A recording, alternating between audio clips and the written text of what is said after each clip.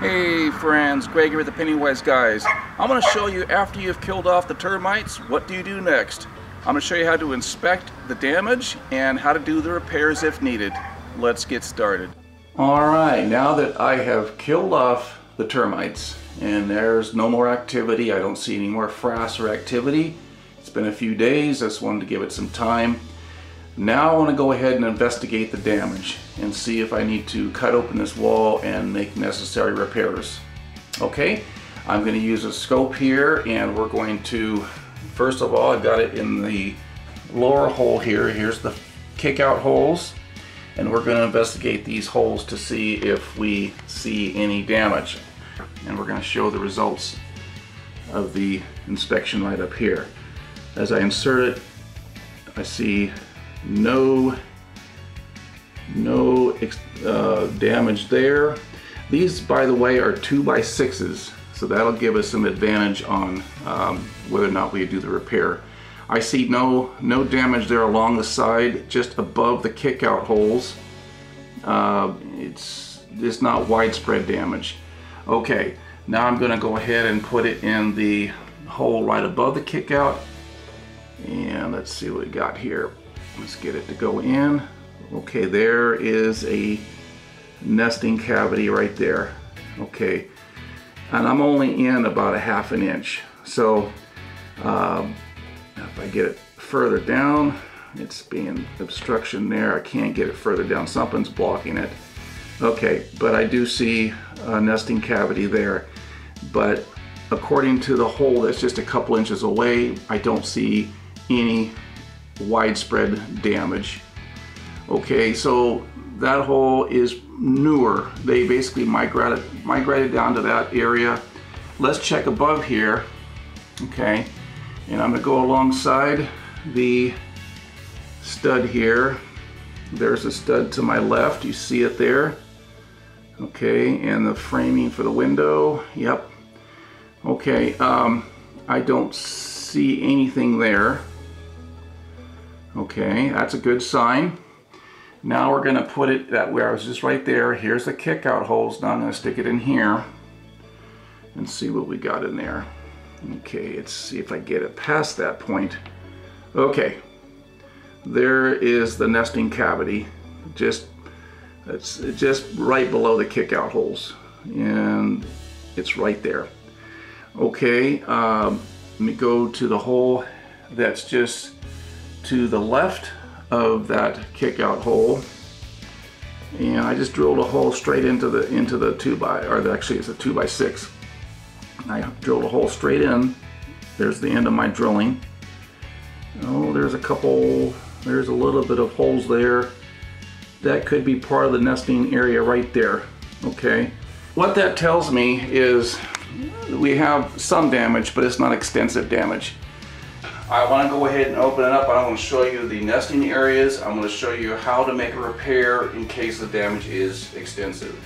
So what I'm going to do is I marked out uh, the edges of the studs with nails, okay, and I'm going to go in uh, about a half an inch on that side of the nail because what I'm going to do is I'm going to have something for the piece to go back in and screw into the um, the stud through the sheetrock so it actually has something to support. So roughly about a half inch, give yourself enough room to put that piece back in there. Go ahead and draw a straight line. You could use a sheetrock saw, but it's kind of tough when you're cutting into studs. It'll take a little more time if you just used a sheetrock saw, it's cheaper. But uh, this is the first time reviewing this tool from um, Harbor Freight, and it's the Warrior brand uh, oscillating multi-tool and I have a friend that has used one for years and has no problems with it so I want to get ahead and give it a try to give them a review on this uh, this this multi-tool. I went ahead and used the Bauer blade. I went ahead with the better blades uh, just because it'll put less stress on the uh, 2 amp motor. The uh, Bauer multi-tool is got a 3 amp motor. It's a little heavier duty but it's three times as expensive. It's almost $58, 60 bucks. This is $19.99, $20. So we're going to give it a go, and uh, if I like it, we'll give it a thumbs up. All right, we're going to go ahead and do a cut across here. This is uh, studs here, so we're going to start here.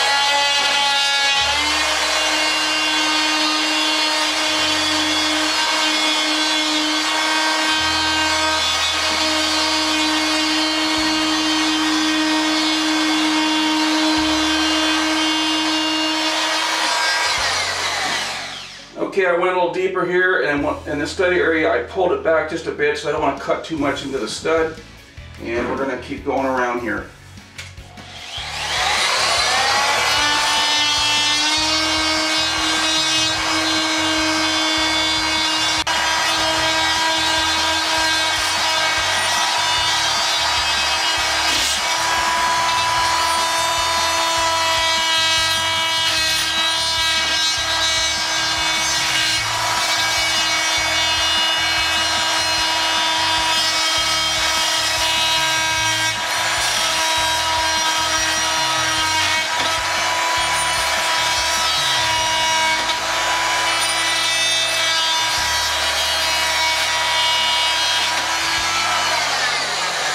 I was hitting the trim a little bit there. Just make sure you just don't hit it much because um, there's a, some metal trim here, so I'm just going to break that out.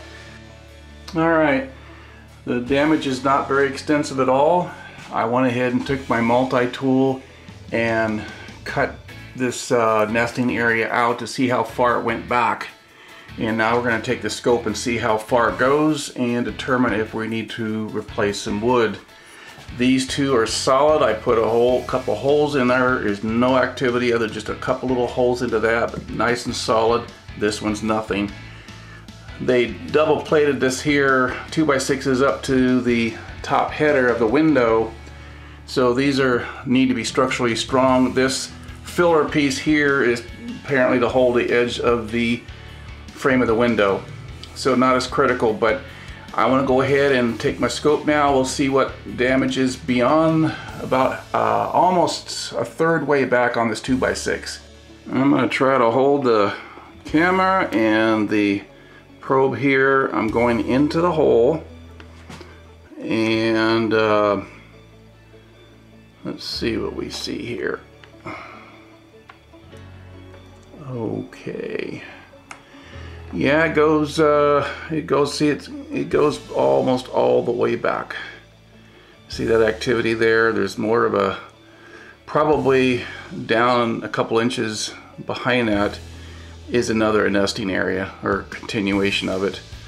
So that's uh, the the uh, the stud to the side of it is clean. But I think I'm gonna go ahead and uh, cut that section out just to show you how it's done. Okay, I'm gonna go ahead and cut it down here because the other activity was here and here. Might as well go ahead and get it all at one time. So if you're gonna make a cut, just go ahead and cut it down here. I scribed a line. I pulled those two nails. If you know how to pull nails, okay. If not, learn how. We can use a flat bar with a hammer and you hammer it in there until you can pry it out. If just practice a little bit, you can get those nails out pretty easily. So there's going to be some siding nails on the back side. Um, but right now we're going to cut through and we'll try to pry it, pry it away from the siding nails. Alright, it's going to be a little noisy here.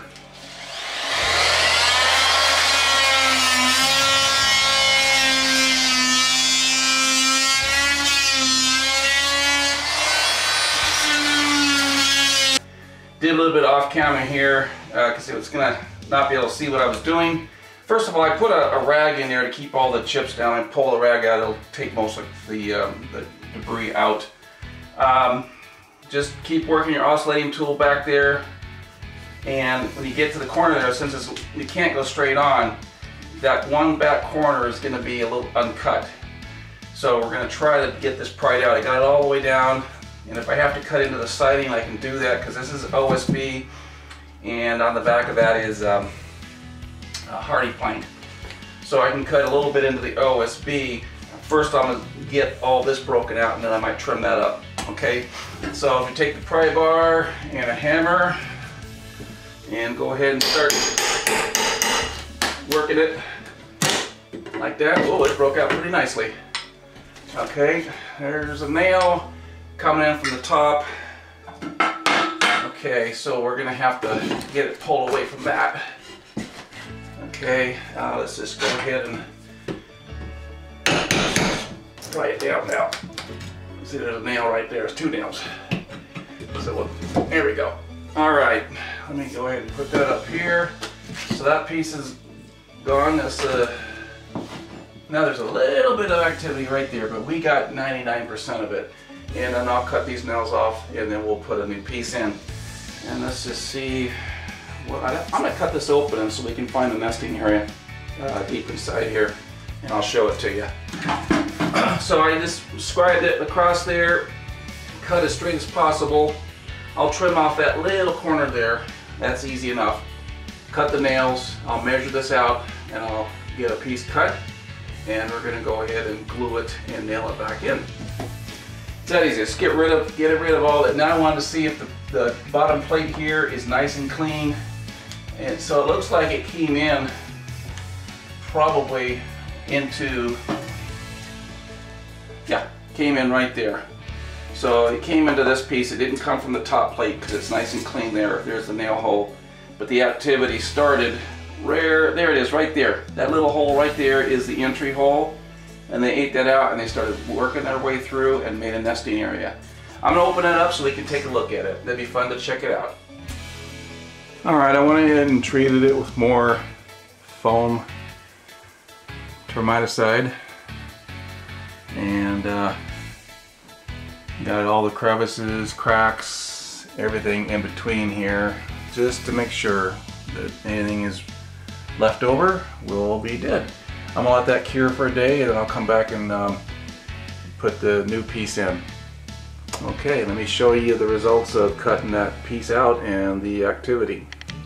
All right, I went ahead and cut it apart. Uh, to start at the top here, that first area here was the, the big nesting area and you can see uh, they bore down through the wood traveling down uh, to a new nesting area and so this top piece had the main nesting area from here all the way down through there okay and uh, I did find one termite that was uh, still left over in the cavity there and there he is right there dead dead little guy I don't think he's moving Holy smokes, he is still moving.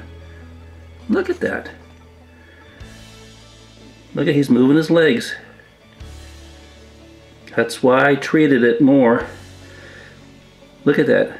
Alright, I treated this area yesterday and let it dry. So we're making sure there is no more live termites like the one we found. And uh, all the activity is gone and we're ready to go ahead and patch in the new the new piece. I didn't have a 2x6, uh, but that's okay. This this here is just uh, supporting this edge. It really doesn't need it, but we're going to go ahead and put in a 2x4. I had plenty of these in stock. I just was short on 2x6s. So a 2x4 is fine. I wouldn't do that on the uh, load-bearing ones here to the header, but this is fine for right here. Um, I'm going to go ahead and um, put in some uh, wood glue here. We're going to just glue this in at the bottom. I'll put the glue there. And then I'll put some glue on the top of the 2x4. Make sure we got plenty of uh, glue right there. And I'll go ahead and put that there. We're just to go ahead and get this fed in and I'm to show you how we're to patch this sheetrock. Okay, we're just to, just like that. Okay, that's in there. It's glued in. It, I pre-fitted it. It was a nice fit. And now we've got support for this frame around the window. Okay, and uh, 2x4 is fine. I went ahead and went recessed a little bit, get a little bit more central support for that 2x6 up there. All right, uh, next thing to do is we're gonna prepare to put the sheetrock back in.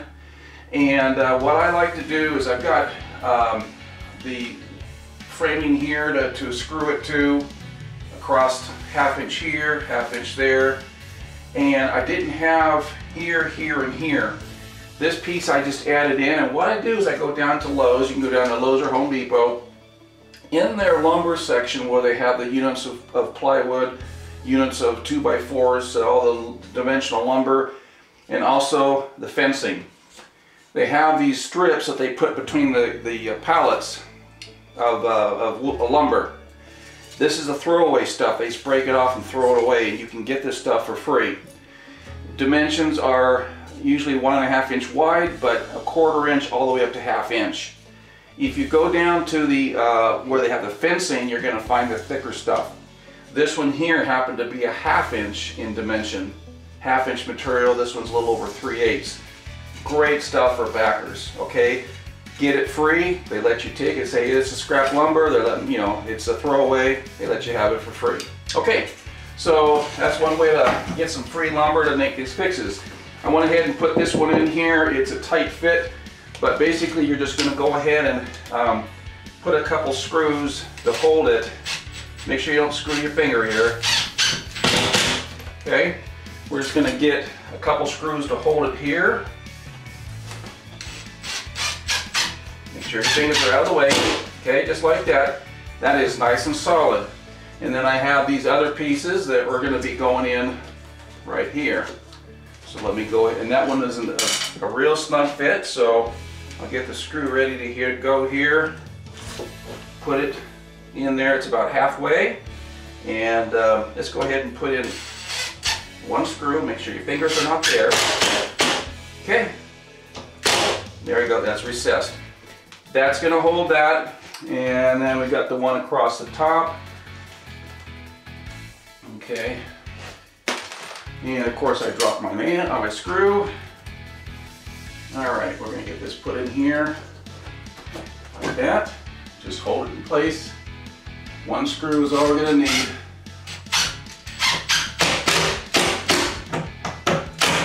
Okay, that's recessed and that's held tight. Okay, you can put two screws in if you want, but one's fine, two good for here. And now we can put that piece back in. Before I do that, let's go ahead and put the insulation back in place that we kind of moved out of the way when we did the work. Okay, there we go. That looks good. Bring this back up a little bit here.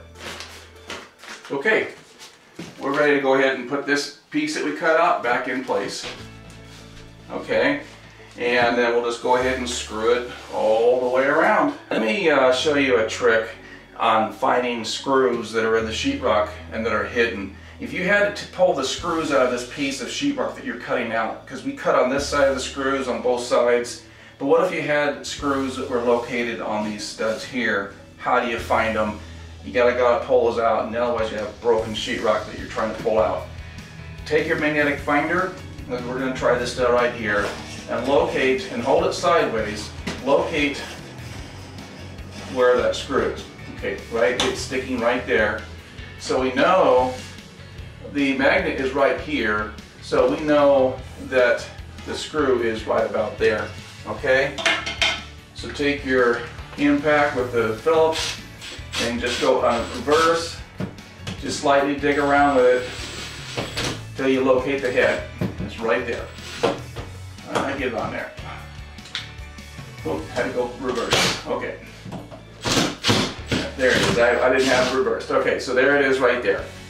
All right, I got it all screwed in place, nice and tight. I got a few screws here, screws around the perimeter. I want to show you real quick. Uh, we only had a half inch on either side, and you're thinking that maybe it's, you can't go straight on because you just be right at the edge and it break the, the, uh, the sheetrock out.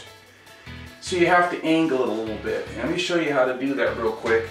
It's um, not straight on is, is pretty easy to do, but when you have to angle it, uh, you're going to cut the paper a little bit on the one corner. So let's, let's we're going to put a screw here. Uh, go back about a half inch and start screwing it on an angle. Okay, hit the hit the uh, the wood there, and go ahead and go in right like that. It breaks the paper on the corner. This edge here is flush. Okay, let me show you what happens if you go straight on, and you have to go real close to the edge. Okay, and you're not going to be able to see this until after I do it. See how that broke that out? It just breaks out the sheetrock in there and it doesn't have any holding power. So if you bring it back a little bit and angle it just a bit and go in, sure it breaks out the, the edge here, but it's not cracked here. So you don't have any cracking here, it's flush, but it digs in just a little bit there. That's acceptable. This is not gonna hold, okay? Little trick there for when you get that close to the edge. I could have cut this further, but I'm cutting right through the screws with that jitterbug oscillating tool. And you don't want to cut through these screws with that tool to break it.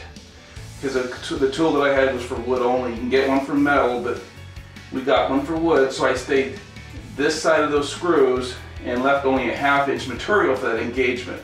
So hope that helps. Let me talk to you about taping real quick and, and doing the, the uh, compound. I will float this whole thing off and don't, I won't tape it. I float it off with joint compound or topping compound for sheetrock. The reason I don't tape it, it just takes more and it, it bulks up and you have to take and feather it out and it takes longer. When you have a small piece like this, it has 100% engagement all the way around on both sides. It is held so tight and it doesn't flex, it's not going to crack. Taping is mainly for areas where, let's say you have between stud and stud and the sheetrock goes across and there's no backing behind that section between uh, stud to stud. That's when that sheetrock will, will flex and crack, okay? As long as you have that backing on there, like I showed you that I put in stud, backing, backing, stud, you're not, you have 100% backing and it's not going to flex and just that short section there trust me it won't it won't crack. So you can float this off and not have to feather it out because you have now the tape and you have to feather it further further away. So it's just a little quicker easier for a homeowner to do it that way and it'll last okay hope that helped thank you for watching and make sure you investigate damage from termites to see if you have to do any repairs and now you know how. I pray that you are blessed and that you know Him who is the author of life.